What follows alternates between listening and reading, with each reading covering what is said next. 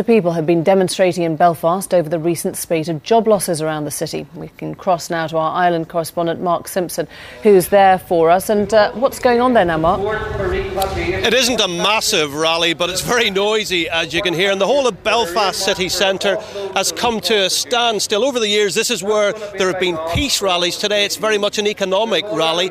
Two types of people here, a couple of hundred people in total, people who have already lost their jobs and people who are fearful that they could be next. In fact, a couple of dozen people over here from a car plants factory in West Belfast, they lost their jobs three weeks ago. They're sitting in in the factory, they're refusing to go home until they get a better redundancy deal. They have come down here to protest, asking the government to do more to help them. And there's another group here you can see in the blue fleeces. They're bus drivers. They're scared they could be next. It's been the private sector which has been hit the hardest here in Northern Ireland, but the public sector, they're scared they could be next.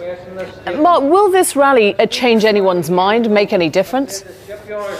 Well, the people here won't like me saying this, but let's be realistic. Is a chief executive thinking of making 100 people redundant going to look at these TV pictures and think, oh no, I'll just keep those people on? I don't think that's likely to happen, but these people are pretty desperate. It's a desperate plea for help at what are pretty hard times on the economic front here in Belfast. Mark, thanks very much. Mark Simpson in Belfast there. In Thailand, a leading